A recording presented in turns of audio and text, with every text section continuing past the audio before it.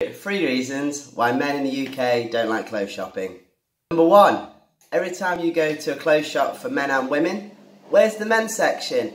Oh, it's all the way up there, up the stairs, up the escalator on the second floor, third floor. Oh no, it might even be in the basement, or it might be the very back of the store. Not good. Number two, it's always the smallest section. Women get three quarters of the shop, we get a tiny little corner. I mean, come on, don't we deserve a little bit more? Now, full disclaimer here before we start, this is no offence intended to anyone that is above six foot.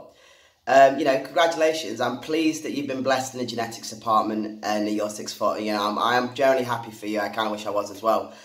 But if you're not six foot and you are under six foot and all you see around you is mannequins that are basically giants and you know, you're not the skinniest person yourself, the clothes the mannequins are wearing, you put it on yourself, it's either a tent or it's a torture device because it's so tight.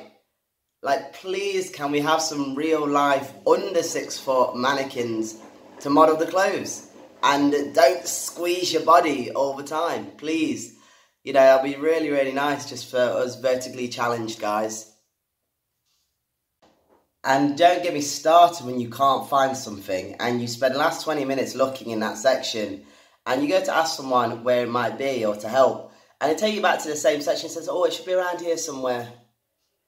That's really helpful. Thank you so much.